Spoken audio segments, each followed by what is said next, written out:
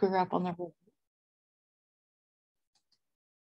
All right, it is the top of the hour, 9 a.m. So I will get started. Um, hello, everyone, and welcome. I am very glad, we are very glad that you could join us today. My name is Kara Cleveland, and I am the supervisor of the Indiana State Professionals State Libraries Professional Development Office. Uh, I also serve on the Indiana State Library we have a public or a personal, I cannot talk today, a professional development committee, and I serve on that as well. Uh, I will be the host and question moderator for today's session, Developing Tech Intuition, presented by Marianne McKenzie and Alex Hampton of the Indianapolis Public Library. Uh, prefers to go by Mackenzie, so we won't be doing the Mary Ann name today. Uh, she just let me know that. Just a couple of announcements to register for other webinars or other trainings available. Just see the uh, Indiana State Library's events calendar, which can be found on our website at www.in.gov backslash library. And you can also go to our continuing education website to get up to date offerings. This session is about an hour, so you will receive one TLEU for this presentation. If you're watching an archived recording of this webinar, instructions on how to obtain your TLEU are in the video's description on YouTube. You can also find the instructions on our website. All right, so I am, I guess, I am going to actually let Mackenzie and Alex introduce themselves because it looks like I did not include that on the script. So without further ado, I will turn this over to Mackenzie and Alex. Thank you, Mackenzie and Alex. Good morning. So um, as mentioned, I'm Mackenzie. I'm with the Indianapolis Public Library, and I have my um, co-presenter here. He's off camera right now, but Alex Hampton. And we're both members of the technology learning team at the Indianapolis Public Library, and we've been on that team for about six years together now. Um, so we are going to talk today about developing tech intuition, so exploring common design patterns and user interface characteristics that you can teach your patrons to help them have the sort of intuitive response to a website or an app that we would expect from a high school user. So let's go ahead and dive right in. So this presentation is based off of an experience that Alex and I had of working with both high skilled and low skilled users on our team. So we teach people who are learning how to use the keyboard and mouse or learning to type for the very first time, but we also teach users who are learning how to code. We teach things like building websites with Wix, how to write HTML and CSS. And what we found is that we were teaching the high skilled users a particular approach to design that we could leverage in our teaching to low skilled users so that they could understand how to expect a website or app to work. So we're gonna walk you through some of those tips today. What we're gonna do is base our information off of a really common usability book. Um, so there's a guy named Steve Krug who wrote a book called Don't Make Me Think. He was sort of one of the innovators in the space of usability, what we might call user experience or user interface design nowadays. And his basic idea was that you should follow common sense design patterns so that your user knows what to expect in your website and app. And he came up with three laws, and we're going to share a little bit about how those three laws can help you develop intuition for yourself or for the patrons you may be teaching. So the very first law is going to be don't make users think. So this one here can sound a little counterintuitive if you're trying to teach intuition because intuition you know, if you're trying to teach that, you want to teach people how to think. But it turns out that a well designed website is meant to be sort of a gut reaction, I know where to go. So the idea is that if you have a well designed website, when a user lands on your web page in 30 seconds or less, they know where to click or what to do to take the next step. So what this means for working with lower skilled users who may be encountering websites for the first time is if we can teach them the basics of how to navigate around a computer, if we can make sure they understand how to type, how to pull up a website, At that point, it's going to be all about helping them understand that they should trust their instinct. What we find is that because um, users who are learning technology for the first time expect it to be hard, sometimes they second guess their own choices. So one of the first things we do in our basic computer classes is we talk about, I'm gonna give you a task and I want you to try and do it. I'm not gonna tell you how to do it, I want you to just guess. And nine times out of 10, most of the users can figure out what a really simple task is. So an example of this might be going to perhaps your local library website and asking them, using only the skills that I've taught you of how to click, try and answer a really basic question. So here we have the Indianapolis Public Library website. Something that we might ask a patron to do is find the hours for their local branch. And what we're hoping that they're going to do is just looking only at the words and only clicking, not typing anything, identify that there's a spot for location, recognizing that if they're able to scroll down, again, having those really basic skills, they can probably find a branch. And then we're going to hope that they'll understand that if they don't see the information they need, they're probably going to need to click a second time to pull up that information. So most low skill users left to their own devices, if they're told I'm going to give you X amount of time, try and figure this out, can probably follow their own gut instinct and make it to a page that will answer their question. But you kind of have to give them a little bit of permission. You have to say, I want you to trust your instinct. I think that you can do this. So the second law is related to this. The second law says it doesn't matter how many times I have to click, as long as each click is a mindless, unambiguous choice. So there was a time in web design where there are these rules about if your user has to click more than three times, they're going to leave your website and not use it. This was about the time that Amazon was coming up with the idea of a single click add it to your shopping um, cart and buy sort of approach. But it turns out that the research for user experience shows that users are willing to click and stay on your website for a significant period of time as long as they know that they're on the right path. The reason a user is going to stop engaging with your website or get confused is if they get disoriented, if the choice right in front of them doesn't seem obvious. So when we're working with low skilled users, what we want to think about is teaching them not to be afraid to click on the obvious choice. So in a learning environment, that can mean putting them on a website where they really can't break anything and trying to encourage them to follow that gut instinct again. But it also means that if designers are thinking about interaction with their website in terms of how many clicks or how the user is going to interact with it, we do need to make sure that the user has those basic skills. So for our computer basics classes here at the Indianapolis Public Library, what we tend to do is focus heavily on mouse skills, making sure that the user knows how to click. If we're teaching them how to interact with something through a smartphone, helping them understand the difference between a tap or a swipe or a pinch movement. Anything that sort of reinforces these are the ways that you'll be asked to interact with the computer. And here's how you can recognize which one of these is appropriate to use in a different situation. If you can teach them those basic skills, after that, hopefully in a well-designed website, everything else will follow along. It'll be relatively obvious.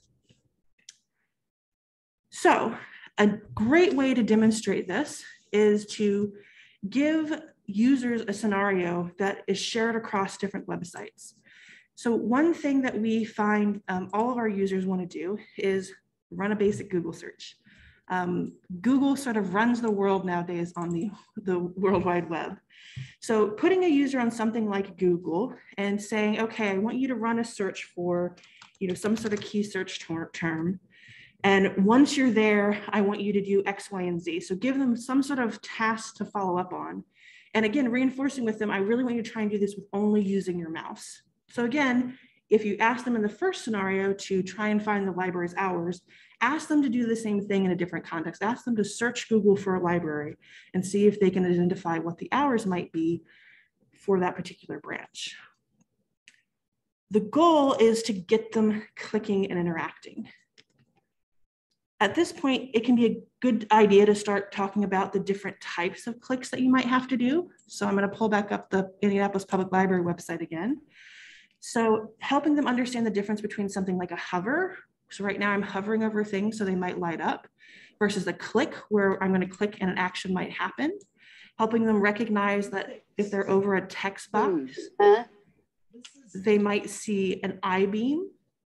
So they might have to click so that they can type really reinforcing those basic mouse skills as they're Up here in a little block in the corner. once they have those basic foundations done, if they trust their instincts and make the obvious choice, they can probably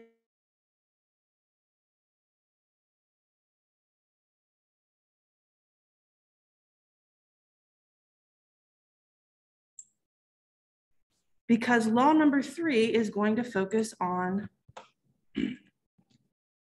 symbols. When we're teaching web designers how to build a website, we're always telling them don't put words. All of us in the library world have made signs and watched patrons just walk right past them, right? No one stops to read something. People tend to react to symbols, things that they can recognize as patterns. So in the real world, if I want to try and tell someone, stop, this door is broken, I would put a big red stop sign. On the internet, what we try and do is reuse the same symbols over and over again that would meet a user's expectation for a label so that they can kind of have an idea about how to interact with the website. So law number three basically tells the designer, write your website, put all the content you think it should have, cut those words in half, and then cut them in half again, as few words as possible. And part of this is based on the idea that most users scan websites. So if we have a particular task in mind, if you're a higher skilled user who has good tech intuition, you're probably only reading about a third of the words that are actually on the page. You're looking for keywords or you're looking for symbols that you recognize. So in order to try and help reinforce this with lower skilled users, once they have those basic skills underway so that they can actually interact with the website, what we want to try and do is help them recognize the symbols that they should expect and to understand what those symbols can mean in different contexts. So we might start showing them symbols and icons that they'll see over and over again on websites and trying to point out and reinforce where there are patterns or repetitions across websites. At this point, we really have to think about using a website kind of becomes like trying to read a map. But when we read maps, usually we get a little legend. So we might have all these weird symbols on a map, but there's a legend that's labeled and tells us what those symbols are. Learning to navigate around the web is kind of like trying to read a map, but there's no legend available. So as tech educators, our goal is to try and provide that legend to help people understand what the different symbols mean. And it turns out that there are some that are pretty universal. Maybe I do now. So for example, these icons that you see on this side are probably going to do the same thing. Yeah, but I. It's not a perfect guarantee, but it's pretty, pretty common. Every once in a while, you'll get a designer out there who just gets it in their head that they should do something innovative and use a symbol in a weird way. But those are few and far between. So things like zooming in and out, helping users understand that they're probably looking for a percentage symbol. If they want to share something, there are two symbols that are most commonly used if you want to email or have a URL that you can share with someone else. Of course, in the library, a big one is printing, helping them recognize what a print symbol is probably going to look like. Searching, most websites are search oriented nowadays. So helping them recognize where they can click to search are you know, a big um, help to low skilled users. But it turns out that most of the time icons aren't universal. So we can't just say, here are these icons and here's how they're gonna work. Sometimes we have what we call context icons. So these are icons that appear and depending on the context where they're appearing, the behavior might change. So an X, of course, if you're in a web browser, there's an X in the top right corner. If you click on it, everything closes. But if I'm interacting with a website that has a pop-up or maybe a message asking me to enroll in their mailing list, there's going to be a small X that I might have to click to close that smaller window. So giving users, the exposure skilled users, the experience of seeing those symbols in different contexts and helping them understand how you can expect a website to behave in response to interacting with that becomes important. This is especially true. So one that I'm seeing um, nowadays with our users is helping them understand what a chat bubble might do.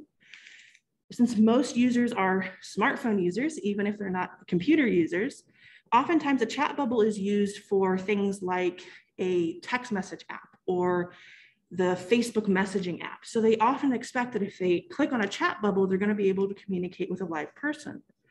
But on websites, sometimes this leads to a comment section. So it's not a live interactive chat. Increasingly, if you're on a company website, you're actually probably going to be interacting with an artificial intelligence, an AI who's a bot who's going to kind of try and predict what you want as a response. We're also seeing this increasingly on government websites. So helping them see that chat bubble in a few contexts so they can understand which situation they might be in can be a valuable way to give them a broader understanding about what to intuitively expect from a website. Another one is arrows. Arrows show up everywhere in user design. Sometimes an arrow might mean go back a step. Sometimes an arrow might have a little curve to it. So if you're in an email program, you might see a reply all or a forward button. All of those are going to be arrows. And to a user who's been interacting with them for a while, you start to develop an intuition for which arrow means what. But for users who've never encountered them before, they need someone to spend the time to point out how arrows can look in different situations and how you can expect them to behave as a result. And then plus or minus signs. So earlier I mentioned that percents were usually almost always going to be an opportunity for zooming in and out. Oftentimes those percents are paired with a plus or minus sign. But plus or minus signs are also used for increment and decrementing numbers. So if you're in a shopping cart, increasing the number of items you might have in it. Sometimes they're used to collapse or expand components on a website. So giving them an opportunity to see those in different contexts, again, just helps them develop that intuition. So some examples of how you can do this include, um, so of course, we're all in public libraries. Most of us have probably seen the Libby app, Overdrive's, you know, sort of uh, book and audiobook borrowing app.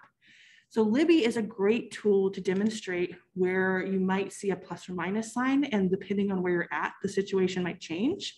So here I am on the Libby's main page and you'll see there's these little minus signs along the side. If I click on one of those, it's gonna collapse something. If I click on an actual title, I'm going to see a plus sign down here next to borrow. And this plus sign, because it's paired with another, another symbol, means I'm going to add this to my account. I'm going to check this out. So this can give you a few places that you can look around and say, look, here's the same symbol, but in a different situation. Let's try and figure out from the context what it might mean. The other thing that I love about using Libby for demoing this is it has a share button.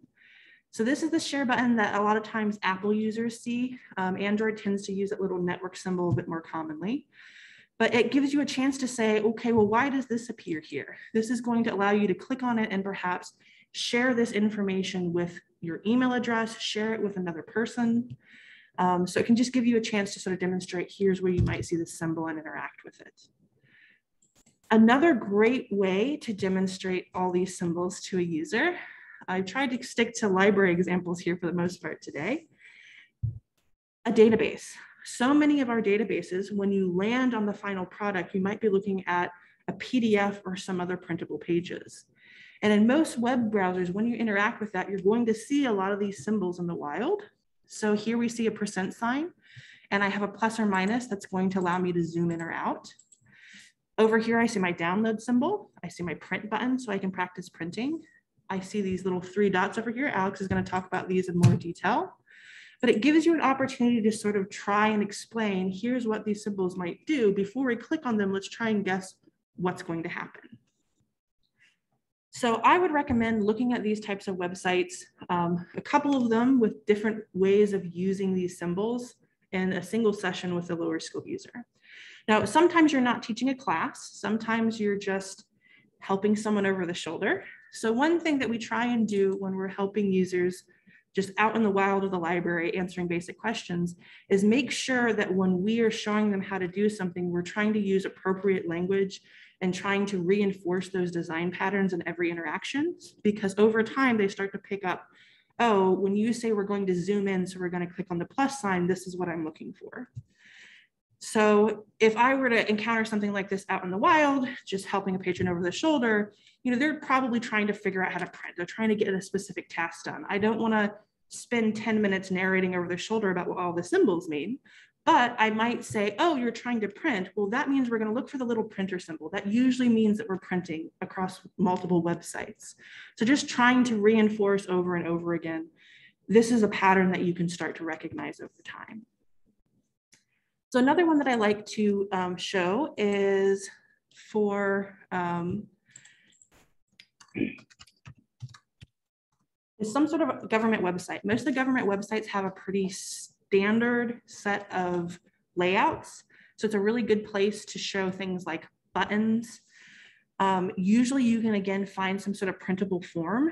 It's a good place to have people practice searching.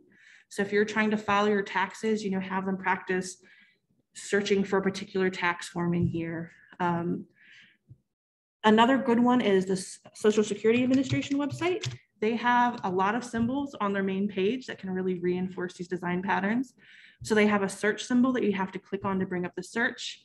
They have a menu symbol that they've actually labeled. Um, so th this can be a great place to sort of demonstrate a couple of these icons and then say, here's a website, I want you to find them and try and predict what they're going to do. Another one that I really like is if you pull up something like Microsoft Online. Microsoft has done this great thing where because they recognize that there's no legend for their icons, there's no way for you to determine what the map's going to do.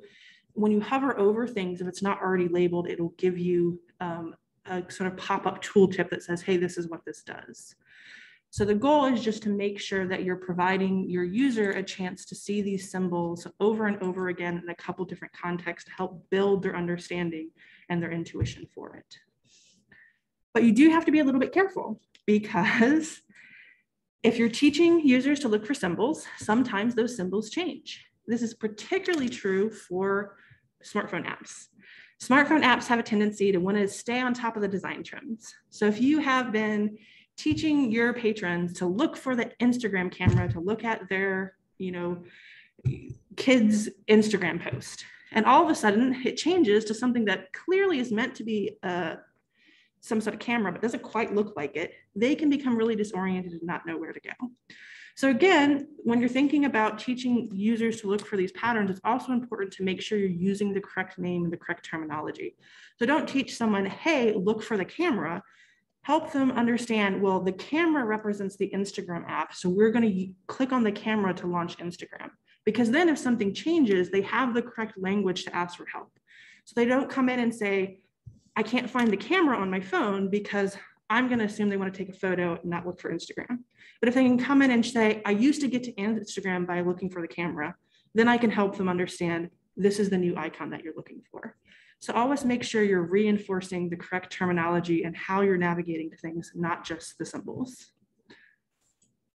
So a really great final step if you're teaching low skilled users to navigate websites, trying to reinforce that intuition is to give them an activity where you're asking them to scan a website. So give them a couple tasks to do, give them a very short time limit to do it so that they can't sit there and read the entire website. Things that I like to do are ask them to find the navigation menu, ask them to run a search and reinforce that that search should have you know, three words or less.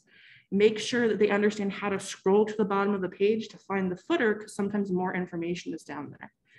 And one of uh, the ones that I love to do is put them on a website that I'm reasonably familiar with and just tell them, I want you to click around as many times as you can. So basically get really, really lost. And then we're gonna try and get back to where you started. So I like to do this on our library's website. Um, so you can put a user on here and say, I'm gonna give you 90 seconds. And in that 90 seconds, I want you to click on as many links as you can. And when you're done, we're going to try and go back to the homepage. Because oftentimes they'll have just kind of clicked through these mindless links here at the top, land on a couple pages. If you're lucky, they're going to click something like I just did, where all of a sudden it opened a new tab and you can talk about what happens when you click a link that takes you to a different website and how you can get back. If they're on this main web page, you can talk about if you ever get lost. Most major websites are going to have an icon in the top left corner. And if you click on it, it's going to take you back to your home page so you can start over again. It just allows you to say, hey, you can't break anything and reinforce as long as you're trying to make the best choice, you can always go back and fix things if it's not going well the other thing is, of course, searching. So when it comes to searching, most users tend to have to expect to ask a full question. And we try and reinforce that if you see a search bar, what you really want to be thinking about is putting in as few words as possible. You can always add more words in, but if you put in too many words, of course, you might not get a good result. So a fun one to do here in Indianapolis, because we have a cat cafe, is to give people a couple different versions of trying to find um, the cat cafe. So I might tell them, I want you to search for Nine Lives Cat Cafe in Fountain Square. So have one person search that on their screen. And of course, they're gonna find the exact result. But I could ask another user to just type in cat cafe. Ideally, spell it correctly, cat cafe. And what you're gonna discover is that both of these searches are going to um, wind up with having almost identical results. This is also something that you can see if you go to somewhere like Libby and search for book titles. Searching for two words in a title versus the entire title oftentimes give you the same results.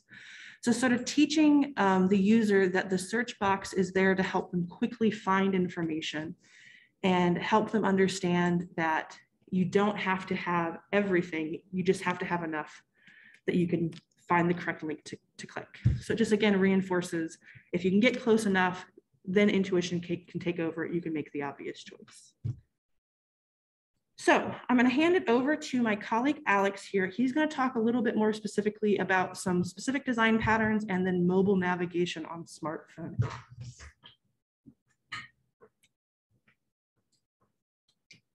Okay.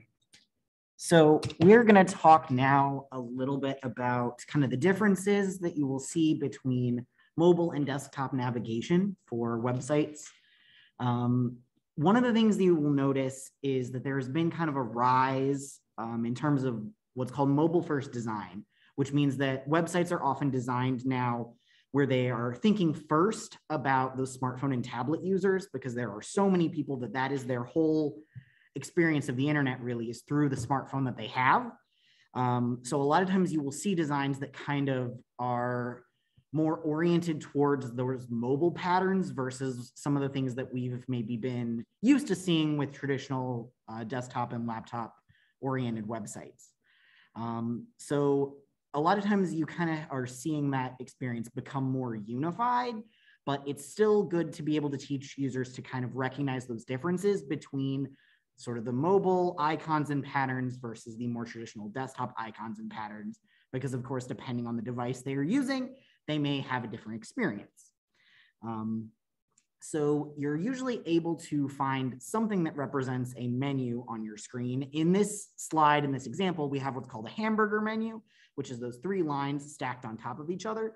And what that's gonna do, most of you have already encountered this in your lives, is when you tap on it, it expands the menu out. So instead of having a horizontal menu that's always accessible across the top of the website, a hamburger menu kind of folds it together and it only appears if you ask for it. Um, so that concept of sometimes you have to ask the mobile sites to do something, it's not just already there for you, is important to reinforce for people. Um, and it's not always a hamburger menu, of course, there are a couple of different ones that we're gonna explore. So let's go ahead and look at some of the primary differences just in terms of mobile systems between Android and Apple.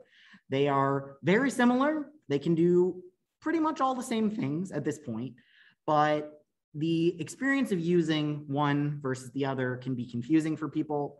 Um, so in, I just have two quick examples of this. So this particular slide talks about what's called the primary navigation destinations, essentially the ways that you get from one page to another, um, usually on, when you're on a website. Um, so in this case, this shows that Android has those primary navigations kind of all over the screen. There's stuff across the top, there's stuff across the bottom. So users on Android really have to understand that they're probably gonna have to look at the whole screen. And that is a little bit different from the way that iPhone and iPad users are gonna see it. Those primary navigation destinations are gonna be across the bottom of their screen extremely consistently. Um, so it's just a matter of kind of knowing where to look and also knowing what to expect based on the system that you're working with. And here's another example. This is just like an adding a uh, event to a calendar, very common app um, across any mobile device. So we have what's called the primary action button, which is sort of the, the main thing that you might expect to do when you open that app. So if you open a calendar app, the primary action that you expect, that the app designers also expect, is that you're going to want to add a new event to your calendar. You open the calendar, you need to add something to it. So in this case, we see that common little plus sign. With Android, it kind of floats in the bottom corner um, of the screen on the right hand side, whereas Apple puts it at the top right. It's an incredibly similar symbol across both systems, but it is in a different place. Um, so honestly, a lot of developing mo mobile-based intuition is sort of learning how to expect what the next thing's going to be. It's almost a little bit of like learning to predict what the next step uh, is gonna is gonna be and to follow those um, patterns that you've seen before to navigate around. So here's a selection of just really common menu styles. They all kind of have these cutesy little names. A lot of them are food-based, so they're uh, kind of easy to remember as a group. So you have hamburger, like we talked about, those three lines stacked on top of each other. Um, when you have like little nine squares, that's usually called like a bento menu. Um, you'll see that on like the Google homepage to navigate from different Google services, like to get to Drive or get to Photos. There's one of those. Um, and then you have the kebab and the meatball, which are functionally the same. They're just oriented differently. So kebab are the three dots up and down, and the meatball are the three dots horizontally. And they generally do the exact same thing, right? You tap on them and then you can see all of the options for that site or for that page. Breadcrumb is a little bit different. Um, this is maybe more similar to like following a file path um, where you're actually seeing the different steps laid out for you. So by the time you see a one, two, three, four on the page, your user is probably on page four, and it's very easy to tell from that style of menu how they might go back several steps because you could literally click on the page two or the page three or the page one and go back a couple of steps. Hover is a little bit harder for people to come to grips with because you oftentimes are not going to see it unless you have a device with a mouse and you are positioning your mouse in such a way that you can see um, those options pop up. So hover can be a little bit hard to teach. Um, an example is often something that's got a PDF in it. If you go to the IRS website and bring up the 1040, uh, you can easily hover over that top right-hand corner from most computers and you will kind of see those options pop up. Um, I have a question about what other names for the menu styles have you found helpful for patrons? Honestly, I don't know that people benefit so much from knowing that, you know, in the design world, it's called a hamburger or a meatball menu. A lot of times you're more trying to um, describe what it looks like. Somebody else mentions uh, grid for a bento. So sometimes it's more, I probably describe like the three dots and the three lines more than I would actually use their cutesy little names. It just depends on who you're working with, what you think might be memorable. I've had some patrons say like, you know, they, they really know to look for the hamburger now and that's helpful for them.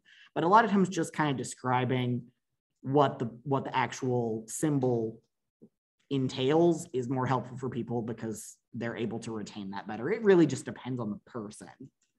Um, yeah, domino tile, that's that's another one that people have used for that bento menu. So it's not perfectly standard, but these are just some of the, the common names that have that similar thread. Okay, so now I want to talk about a couple of different options for menus, and I have these little animations here on each um, slide. So this is an accordion menu. It collapses and expands based on where you tap. So this one is a fairly intuitive one for people as long as there aren't too many options. If you have somebody tap it and it expands out into 37 things and that they then have to scroll through, sometimes that's a little much. Um, but usually people are kind of able to understand the, the nested concept here. Um, so that one is not super complicated. Carousel, you're going to see on both mobile sites and desktop sites where you are actually clicking or sometimes swiping through those different options. This can be especially confusing for people because they're not able to see all of the options at one time. And if they don't realize that they have to hover over this, click on it, swipe on it to figure out what those options are, this can be a real stumbling block for people. And a lot of websites, there isn't any labeling that tells you you have to do this. So you just kind of have to be able to recognize that this is going to offer you different options and you have to interact with it in order to be able to see them. Um, so you're going to see those on pretty much all the library digital borrowing sites, things like uh, Libby, Kanopy. It's just become really common because it's, I don't know, allows you to fit a lot of information into one horizontal space, I guess. Um, so those you will see a lot. If somebody else mentioned seeing Zillow, that that's how you see the pictures on a Zillow listing. That's true. So you have to have that kind of recognition for this pattern that you have to interact with it. A drop down is probably one of the menu types that everybody's most familiar with because it's probably the most traditional one, right? You go to a desktop website, this is kind of what you're going to expect to see. I usually use the example of a filing cabinet with my patrons when we talk about these that, you know, if you walked into a filing cabinet, you would only see the labels on the outside of the drawer. You can't necessarily see what's in each cabinet drawer unless you pull the drawer out. So clicking on, or in sometimes some cases hovering over these different labels are gonna allow you to see what they contain. So this one I would say is one of the easier ones to teach. Um, it can have, you know, that that same stumbling block of they don't see it immediately without interacting with it, but I think it's a little bit easier for people to grasp than say the carousel. Then there's modal, which I do think is a difficult one for people to learn. So the concept of the modal menu is that you make some kind of selection in an app or on a website, and essentially the next thing that you see blocks the entire screen until you make the next choice. So designers love it because it makes your user focus down on answering one thing, inputting one bit of information, um, but for users, this can be very disorienting because all of a sudden the screen that they thought they were looking at is displaced by something else, and it may look quite a bit different. Um, so this is one that can be very jarring for people. And it's important because it is used so much in mobile design. So this idea of, well, you have to make a selection and then you will be, you know, either taken to the next appropriate screen or perhaps return to the one that you came from. Either of those things can happen and they're both normal. Um, so modal is a little bit challenging to work with, but it's very common and users need to know about it. And then I also want to mention the concept of a notification dot. So this is when there is some kind of notification for usually an app that you have on a mobile device. There is a message for them. Maybe they need to update the app there is something that they need to deal with that comes from that app. And this is one that people often do not connect the dots. They, they don't understand that seeing that little dot appear on the icon corresponds to a notification that they need to find. Um, so they're going to need to open the app or go into their actual notifications menu to deal with that. And that's the only way that dot is going to disappear. So I can't tell you how many times I've had patrons that have just phones that are covered with these little dots on basically all their apps because maybe they don't have automatic updates turned on or they don't really know where to go to see their notifications. So this can be kind of an involved thing to solve, but just taking that first step with people to help them understand that if you see this dot, there is a reason to open that app. There is something in there that you need to do or maybe just dismiss um, you know, maybe it's not a big deal, but something needs to be dealt with here. So that is important. We have a couple of resources that we wanted to show off today in terms of things that help people to come to grips with some of these concepts. So I'm just gonna show uh, just briefly these four things. So the first one is a practice web form. Let me move this over here. There we go. So this gives you the ability to have somebody practice typing, clicking, um, you know, selecting different options. There's a little calendar.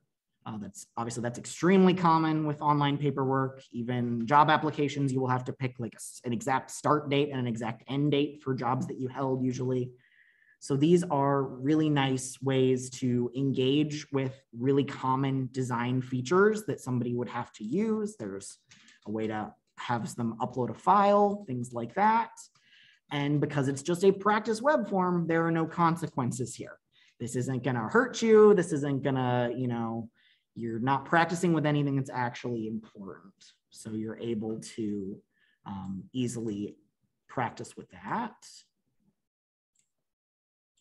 Then we also have mouse practice. This is one that we use a lot in our basic uh, mouse skills class. So this is an essentially an exercise that walks people through in words what they want to do and gets them practicing moving the mouse around the screen to do lots of different tasks. At the beginning, it's just kind of this point and shoot aiming at these numbers, but it gets more complex as it goes. And it's a really nice um, exercise to practice that dexterity with the mouse, which like Mackenzie said, really is the key to becoming more confident um, using a computer is getting really good at using a mouse. The third resource I want to point you to is the um, symbol guide here. So this is essentially a little bit of a legend for many of the common symbols that people may see. Um, it goes on for quite a while. It's got a lot of symbols in here. Um, so this isn't something that I necessarily would hand to a patron and then leave because it's very long. Um, but it's more something that I might use pieces of to teach a specific skill. Um, you know, I might make somebody a printout of a specific area that they that we've been working with just to give them some reinforcement on that information. And then there are also some nice mobile device lessons over on our friend GCF Learn Free. So if you're not familiar with GCF Learn Free, it is a wonderful resource that has lots and lots of tech training um, there are videos, there are lots of written lessons. So this is a great uh, resource that we use a lot and it gives you a lot of good information that you can use. Um, there are even pages that a lot of times we'll use in like one-on-one instruction. If we have somebody book an appointment like that, you can literally just fire this up, scroll down the page and talk about their different points. They're great at showing examples of everything that's here. Um, so this is something that we lean on a lot in our instruction and wanted to, to highlight for you today. So that is my final example. Um, we do want to thank you so much for coming to our session today. If you have questions, feel free to shoot Mackenzie an email. Her email is uh, on the screen for you. And I guess we're going to do questions with the time that we've got left.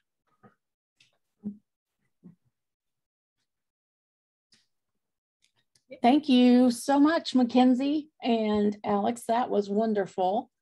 I feel like whenever I was watching this, it seems like, you know, whenever you are a, a prolific computer user, you forget that you really do need to drill down to the basics, you know, to teach people how to use uh, the internet. And it's just, you, I think I take it for granted. And just hearing you guys, you know, break it down, it's like, oh, yeah, you know, you really do kind of have to have some experience to understand what those symbols mean. So I really, I really think it's great. I loved it. Thank you very much. Does anyone else have anything that they would like to um, ask? I'm going to go ahead and put the TL, TLEU certificate link in the um, chat so that you can request a TLEU uh, certificate if that's something that you need. All right, just fill that out and I will send out certificates after probably next week. Um, you know, give us some time. Uh, we will also be transcribing this and adding it to our archive webinar page, uh, but you know, we'll have several to do, so it won't be Monday before we get that done, but within a week or two, we'll have, try to have all that uh, finished and posted on our website. And we're getting lots of good comments. Thank you, informative pre presentation. Uh, and I totally agree. Very, very good. So glad. Thank you so much for sharing with us, Mackenzie and Alex. Absolutely. And I hope all of you will um, feel free to shoot me an email if you have any follow-up questions or comments or would like some additional links. Um, Alex and I have, like I said, been working with low skilled users exclusively um, almost for about six years now. So we have a lot of resources we've built up. If you're someone who's trying to expand out your um, outreach at your library in that area, we're always happy to sort of talk shop and um, share some resources. Absolutely. That's great. Sorry, Alex, I didn't mean to. No, fine. All right. Um, well, if you have any questions, uh, just put them in the chat, or like Mackenzie said, you can follow up with them directly. Uh, I'll go ahead and put the link in the chat one more time. Uh, that is just a link that you can fill out to request a TLEU certificate. All right. Well, I am going to stop the recording